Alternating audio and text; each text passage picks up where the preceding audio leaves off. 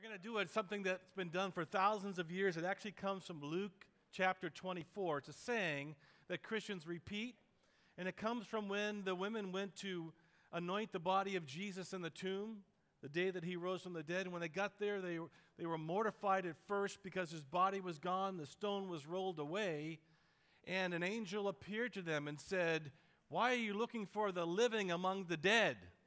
He is risen.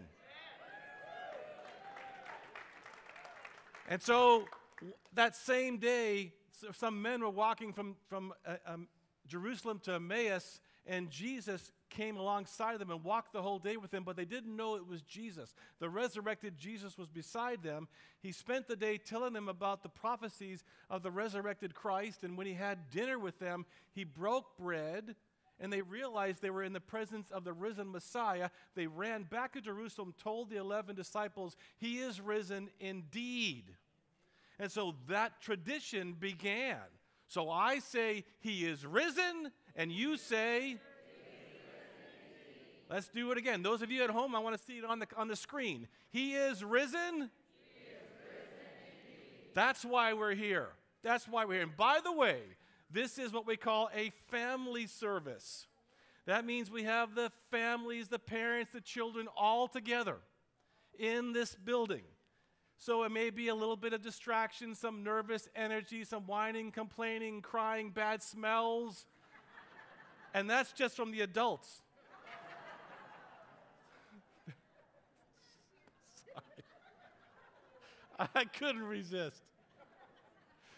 But you know, the truth is, a lot of people have come today. You, this may be your first time back, and I want to let you know what we've done here to preserve the integrity of protecting our flock. Is we have the ability with our system to bring in new, fresh air every 15 minutes. That's why you feel that breeze in here. So we've got state of the art filters and massive amounts of air being blown in here. So every 15 minutes, you have brand new exchange of air in this building. So I want you to feel comfortable and at peace. And I want to say thank you for coming. Some of you are here because it's Easter. Some of you are here because it's Sunday. Some of you, you are here because you've been dragged here by your parents or friends or coworkers. Trust me, you'll have a great time. God's going to meet you. You're going to feel better when you leave than when you came. So that's my promise to you because I'm going to give you the promises not of a man, but the promises of the Son of God. And I'm not going to have to waste a lot of time trying to convince you of something you know already occurred. How many people here have actually been into space? Raise your hands. You've been literally in space. Okay.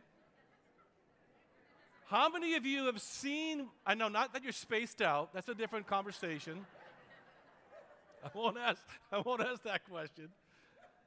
But how many of you have seen with your literal eyes in space that the world is truly round and moving? In space. You've been in space, darling. Beautiful. She fit in the other category this morning. you, you, you, literally in space, not some video, but you saw it. Yet, do you still believe the earth is round?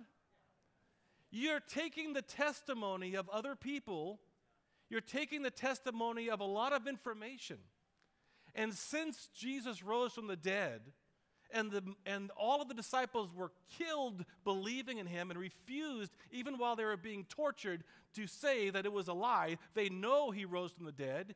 For 40 days after the resurrection, he showed himself to people. When he finally left, there were 500 gathered together when he descend into heaven. And then millions upon millions upon millions upon millions upon millions have believed in Jesus Christ and their lives have been changed. We don't need to have some kind of long sermon telling you that the millions and millions and millions and millions of people who believe in Jesus, whose lives have been changed, were wrong.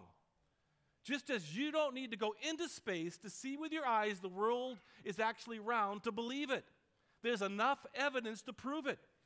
But today is about the fact that He gave you promises. And those promises are something you can actually hold on to because we know the world gives us promises they do not keep. People give us promises they do not keep. Jesus gives us promises we can live and die for. And the first promise he gives you through Jesus is we realize we are spiritual beings having a human experience. I want that to sink in. We are told that we are just evolved humans having these spiritual moments. That is completely reversed. And Jesus, the resurrected Christ, proves we are not human beings having spiritual moments. We are spiritual beings having, spiritual beings having human experiences. We are living in this earth suit, as we call it.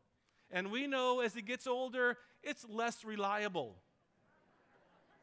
and it will one day fail us. And it's important to realize that it's housing an eternal spiritual being. You are spiritual beings having an earthly experience. You are not an evolved animal. Because the animal kingdom's not very friendly. Have you watched those TV shows? The predator eats the prey. The young, the innocent, the old, they eat them. You know, I have a cat. I like my cat. He catches mice. I live on a couple acres. He's a great cat.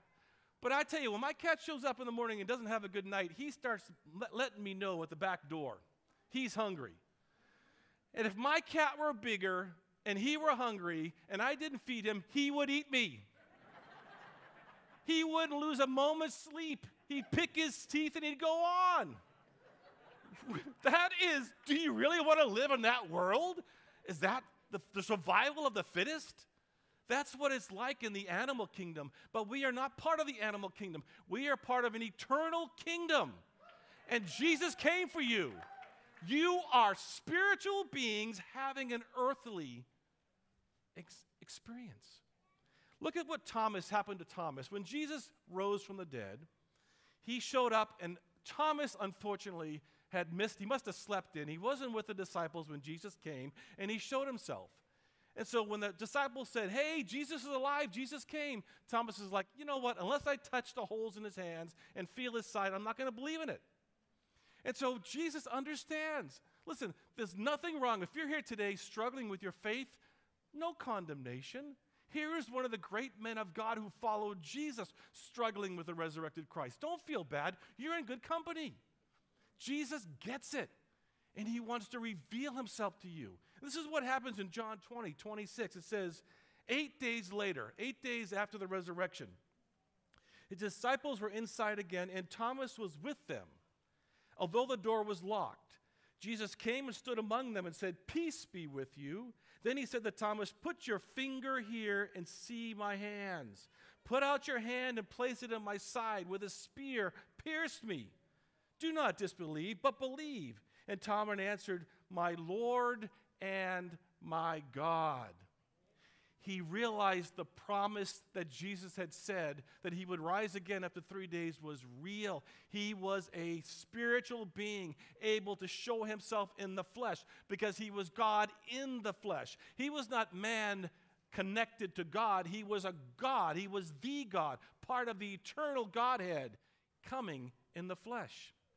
And he has created you the moment you were conceived it wasn't just flesh and blood growing in your mama.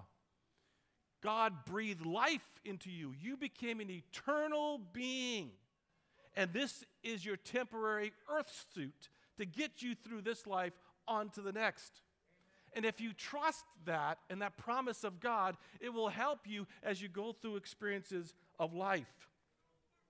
It says in John 3 5 through 6, Jesus answered, and he's saying this to Nicodemus, one of the great, uh, the great uh, Jewish leaders. And Nicodemus was struggling because in the, the Jewish law, there were thousands of them. And you had to obey thousands of law to be right with God. And Jesus was trying to get rid of the bondage to that. And he said, Truly, truly, I say to you, unless one is born of water and the Spirit, he cannot enter the kingdom of God.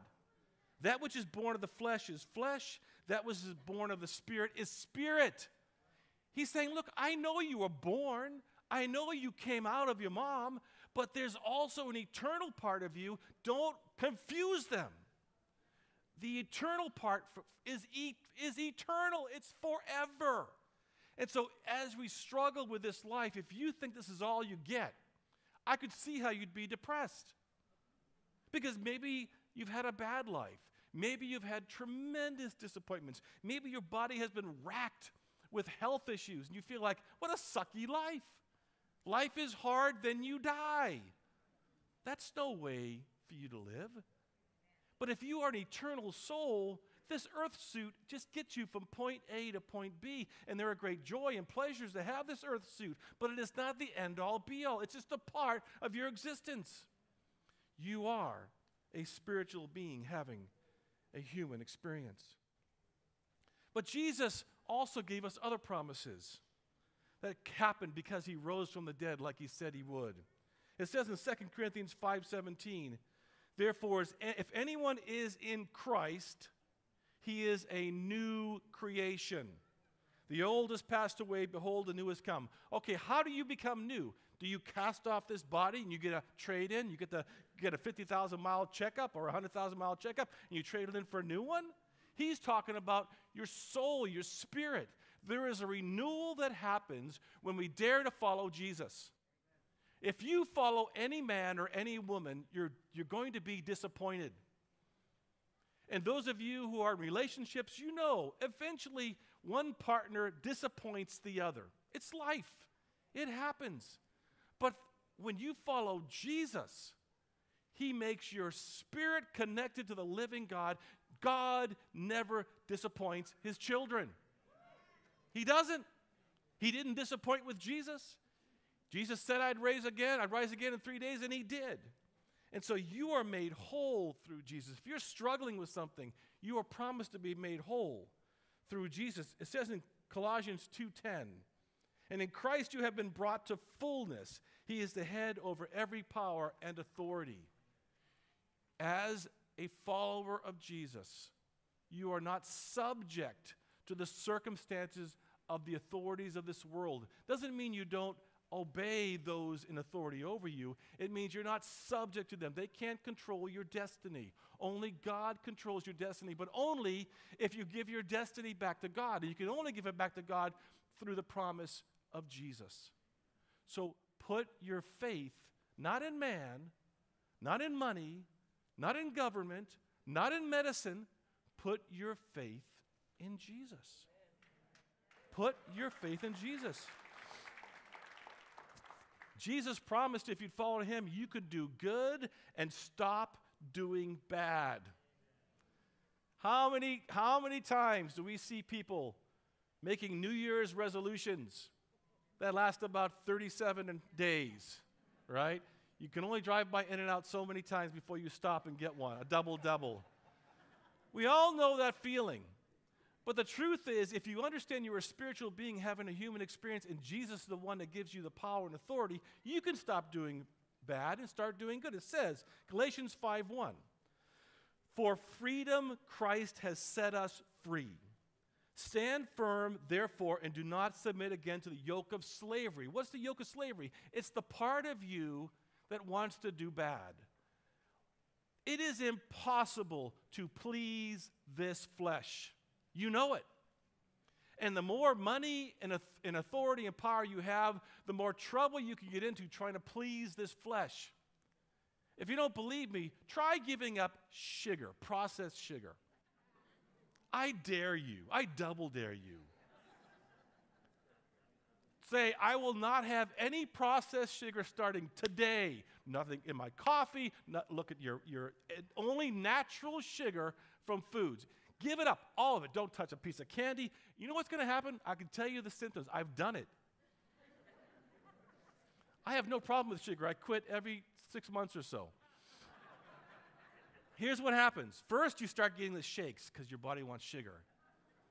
Then you start literally, you literally get flu like symptoms. You'll think you got COVID again, but it wasn't COVID you will literally get flu like, your body's saying, What are you doing? I want sugar.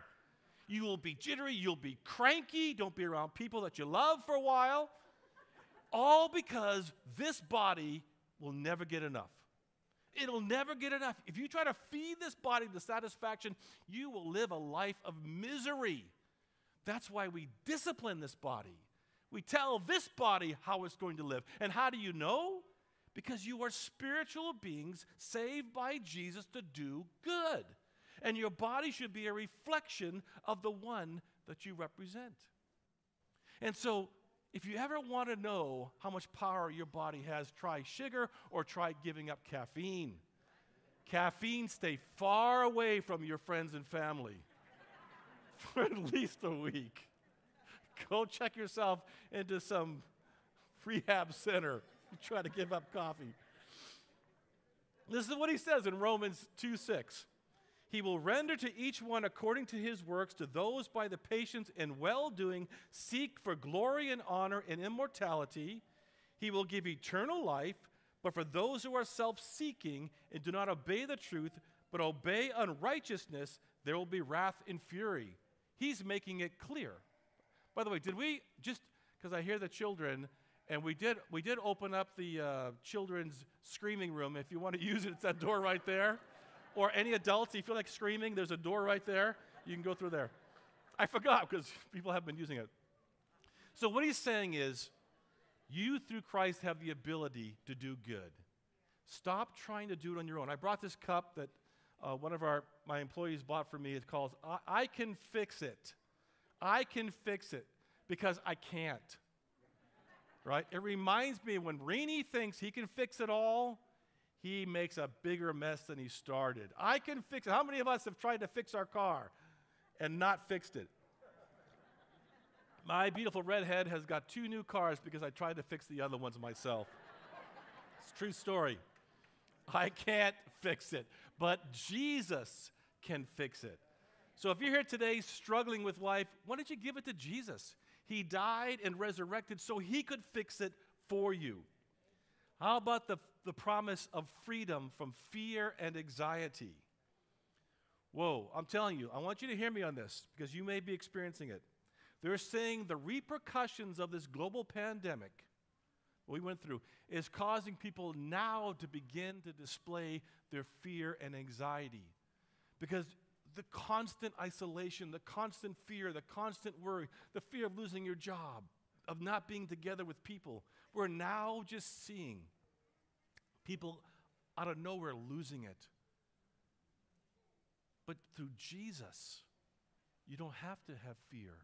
You don't have to have anxiety. It says in 1 John 4:18, "For there is no fear in love, but perfect love cast out fear." Who can give you perfect love? Amen. Who can give you perfect love? Jesus can give you perfect love. That's why he went to the cross. That's why he died for all the sins of humanity. He, he gave himself for you out of a perfect, unconditional love. And he rose again to say, Hey, I may have given my life for you so you could be restored to God, so you could be forgiven of your sins. But just make no doubt about it, I have also come to give you love to sustain you because I rose from the dead. I didn't die and stay dead. He rose up so he could be with you all day, every day, and give you perfect love. For fear has to do with punishment. And whoever fears has not been perfected in love. Some of us think God is a God that is an angry old man, ready to take his anger out on you. And we talk about the fury of God, the wrath of God, but you don't understand what all that means is that God, being perfect, he is, the per, he is perfect love, perfect good. He is the light that lights up the universe. And if you have sinned in your life, you cannot be in the presence of God. And when you're not in the presence of your Creator, you feel a distance and an anguish and a darkness. Darkness cannot abide where the light is. Light pierces the darkness. And so, if you have not allowed Jesus Christ to step in to remove the sin of your life, you are separated and you do feel wrath and anguish because you're not connected to your Creator. Some of you are here today and you are displaced from someone. The relationship is broken, maybe with someone you knew, someone you cared about, maybe with a family member or friend. You know the heartbreak of a broken relationship. It hurts. It hurts a lot. And when you restore that relationship, it feels wonderful, does it not? This is what happens with God. He's not an angry God trying to, trying to take wrath out on you. He desires to be close to you, but darkness cannot abide with light. So you must find a way to be righteous. How are you righteous? By accepting Jesus Christ as your Lord and Savior, saying, I have, I have done wrong. Jesus goes, I know you did, and you can't fix yourself, so I died for you. All you got to do is say, I'm sorry I did those, those wrong things. Forgive me in the name of Jesus who died for me. And God says, You are forgiven. Come here, my child. Give you a hug. We're all good. Happy, happy. That's the way it's supposed to be. No fear, no anxiety, just an embrace of a loving God through the mediator, his son. And then God becomes your fan forever. He becomes your fan forever. We all need a good fan. Romans 8 28. We know that those who love God, to those who love God, all things work together for good. For those who are called according to his purpose, it means God wants to do good things through you. God wants to do good things through you. Colossians 1:22 says, "He has now reconciled in his body of flesh by his death in order to present you holy and blameless and above reproach before him." Literally, hear me now. It's like you're cleansed through Jesus, and suddenly you've been connected again to God. If you're here today struggling with a relationship with God, all that needs to happen is you allow Jesus to erase the things that are keeping you from His presence, and then you can return to your presence with your Creator, and there's something special that happens. And what happens is that God, when you speak, God listens and He and he responds to you. They say that when we talk to God, it's called prayer. When God talks to us, we're insane. Right? That's what the world says. If you say, I'm talking to God, they go, okay, you're praying. But if you say, God has spoken to me, they go, yeah, you're weird. because it is weird to those that are distant from God. It is kind of wacko. But if you are preserved and, and, and, reconciled to God through Jesus, you can speak and you will hear him. It says, John 10, 27, Jesus says this My sheep hear my voice. You're his sheep. He doesn't say, I hide myself from my sheep.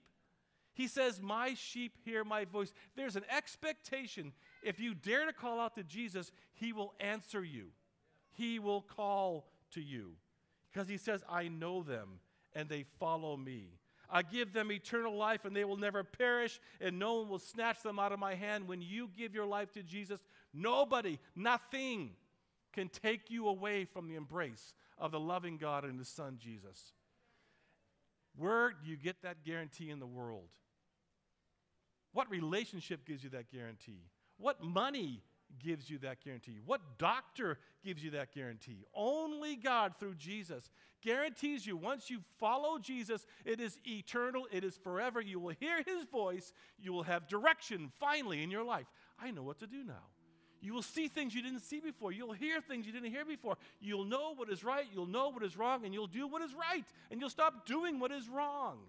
That is the promise of a resurrected Jesus. God listens to you, He responds, and He provides for you.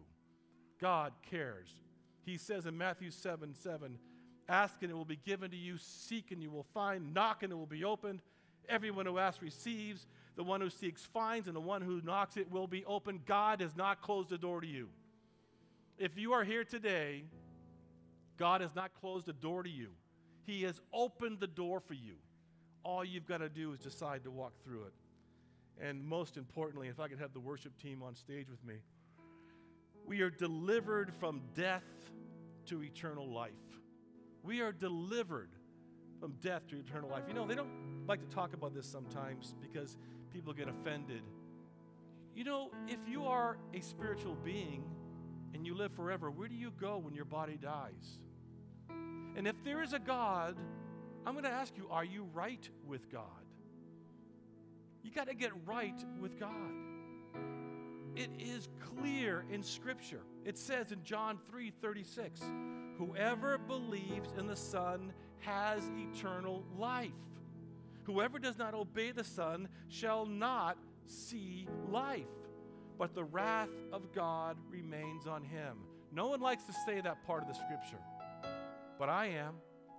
if you have come today, even if you were dragged here kicking and screaming, it is because God says, Look, would you stop running from me? I'm not going to hurt you. Maybe you've been hurt.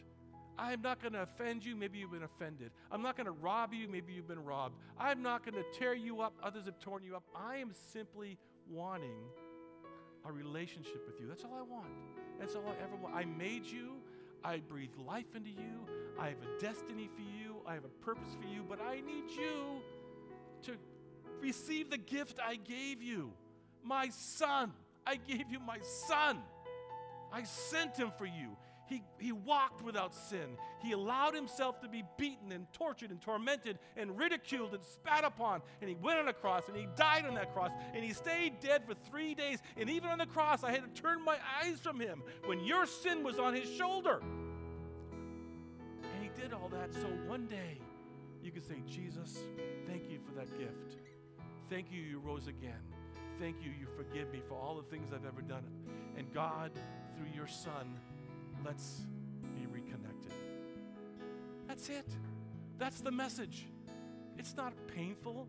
You didn't die hearing it, but it's necessary you believe it. This is a promise given. John 3:16, you see it everywhere. Think about what it means for you today. For God so loved the world that he gave his only son that whoever believes in him should not perish but have what?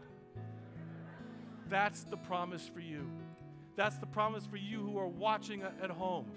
This is the promise for Easter that Jesus did not stay dead, that he rose again, and he wants you to remember I made you. The happiest you're ever going to be is if you choose to follow my son Jesus. What do we how do we do that? How do we get right with Jesus? We simply accept the gift of the death and resurrection of an innocent God man named Jesus. We confess our sins to God, and He forgives us.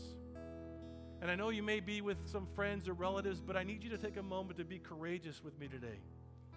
If you are here today and you know that God is calling you back to be in His presence, and you know you just kind of gave the sidearm to Jesus, and maybe you've never even begun this walk with Jesus, can I say to you today, this Easter in 2021, may it be the new beginning for you.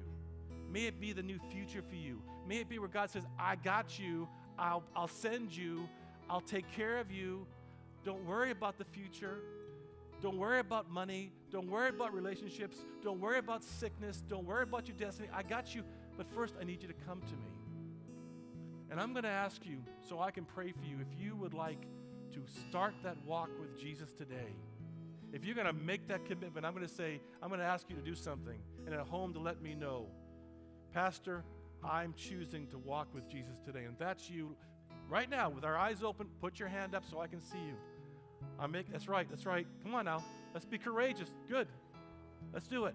Let's get right with Jesus today. Who else? I want to start that. Good. Come on. Come on now. Forget everybody else in this room. This is about you and Jesus, getting right with Jesus. Good. Who else? Come on. Come on now. Good. Be brave. Be brave. And we're going to pray together. We're going to pray before we dismiss today. You can put your hands down. I'm going to lead you in a prayer. We're going to pray it together because we've all done this. And then when we're done, before you leave, I'm going to ask you to visit our prayer team members because we don't do this alone. We walk this out together. Let's pray this prayer together. Repeat after me Dear Lord, I accept Jesus as my Lord, as my Savior. I ask you to forgive me for all the wrong I have done and restore me to God the way it should be.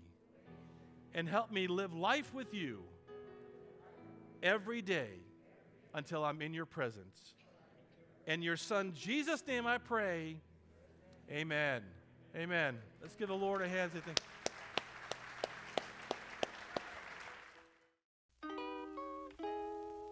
Thank you for joining us. Be sure to subscribe to our YouTube channel and follow us on Instagram and Facebook. And listen every morning, Monday through Friday at 7:47 a.m. as we go through the Bible together on Facebook Live. And share these videos with all your friends and family so others can receive the hope of Jesus.